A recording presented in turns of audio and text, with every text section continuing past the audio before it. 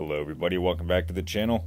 Willy's Wonderland, which was released today on demand and directed by Kevin Lewis, is a movie about killer animatronics inside of a Chuck E. Cheese like establishment that houses a dark past. I will start off by discussing the things that I enjoyed about this film, starting off with the overall cinematography and look of the entire film. This movie utilizes many different camera techniques in the film, especially during the fight scenes. The color and lighting in the film gives the film a very unique style and feel.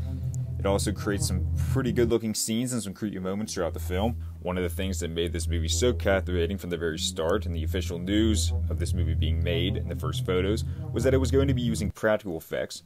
The animatronics look great in the film, and any movie that uses practical effects definitely gets a bonus for me. Of course, Nicolas Cage is the main character, and he plays a janitor in a movie that's cleaning up the abandoned Willy Wonderland. Nicolas Cage. Nicolas Cage being himself in the movie makes the movie what it is. It succeeds in some special way because of him being in the film. Even though, as you may have heard, he doesn't speak throughout the entirety of the movie. While I would have liked to heard Nicolas Cage speak in the movie, it didn't ruin anything for me and it kind of added to his character. Now to talk about some of the negative of the film, the group of characters, the uh, two females and the three guys that are in the movie, the side characters that enter into the uh, Willy Wonderland, they don't bring much to the film and overall, the acting for the majority of the characters is just subpar. All that this group of characters did in the film was add on to the runtime and become bait for the animatronics. The movie can be cheesy at times, which I felt could have been avoided, but it wasn't.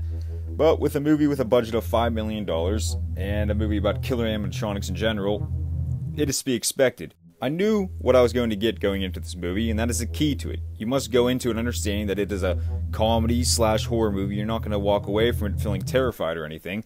But overall, the movie sits at a relatively average score at around a 60%, which I can agree with. The movie's original in a way that we don't get it on screen very often at all. A movie like this could have been an absolute disaster, like Banana Splits was. But it wasn't. It was fun, it was colorful, and it had Nicolas Cage, and you go into it understanding what you're going to get. And I saw even greater potential from watching the movie. The quality continues to get better as you watch it. You can tell the director understands his utilization of color and lighting and so on, especially in the final scene, which puts all that together in a very fun way. Overall, my biggest issues were with the supporting characters, the bait in the film. The animatronics look great, the practical effects are great, the color and style of the film get better throughout the movie, and I would be excited to see what this director does next, with maybe even a bigger budget, or possibly even a sequel to this movie. But again, the supporting characters are what dragged the movie down, and the acting from them wasn't that great. The story at the end gets a little fishy and cheesy, but again, that's what I expected from this movie.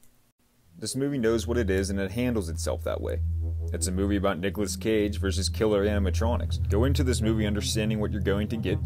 It's not an award winning movie, it's simply a fun time. And that's what it becomes. Let me know if you've seen the movie and your overall thoughts on it. Please like, comment, subscribe, and have a great day.